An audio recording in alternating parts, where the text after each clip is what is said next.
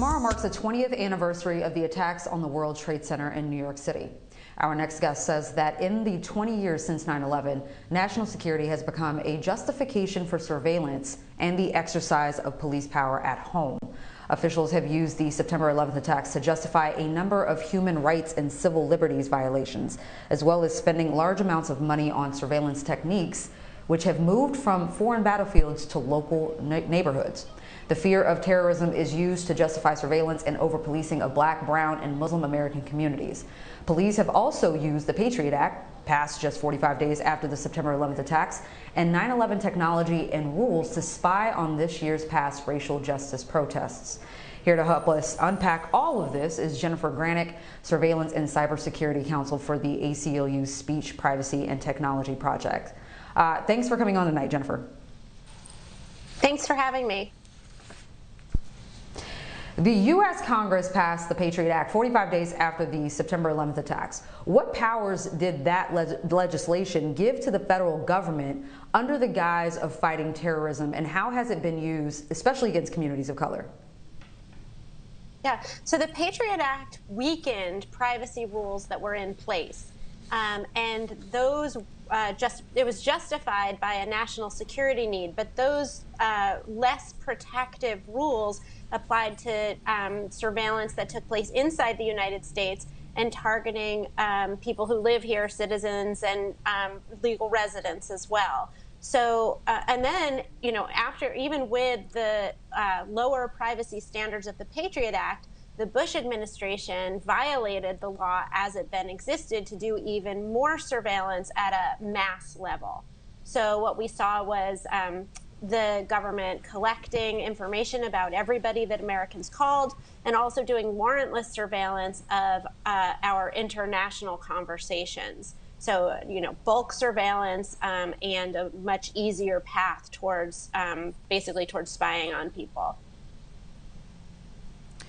Uh, what are the um, what are some of the surveillance technologies that that both the federal government and police departments use to monitor Black liberation movements?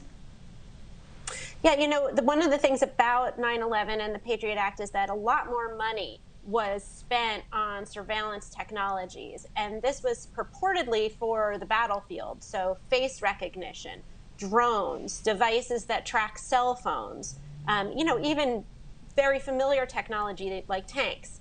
Um, but what we then saw was that once this technology was built, it was imported into the United States for regular policing. Um, and of course, we know that regular policing inside the United States um, can be racist. And we saw that, you know, technology that was for run of the mill crimes has also been used to surveil protesters um, who aren't committing a crime at all. So we've seen facial recognition and these um, mm-hmm. cell phone trackers deployed against Black Lives Matter protesters um, you know, during the uh, protests of the murder of George Floyd, um, you know, drone um, and cameras for aerial surveillance, which have been deployed um, over neighborhoods in uh, cities like Baltimore. Just this real uh, redeployment of military technology into the United States for monitoring protests as well as for just run of the mill low level crimes. Jennifer, can you talk about um, how programs apparently designed to um, counter terrorism work to identify violence prone people in advance and why that's both inherently subject to bias and, of course, impossible? Yeah, I mean, we've seen a lot of efforts by, you know, the New York Police Department and other police departments to develop some kind of program to identify who's going to be violent um, ahead of time.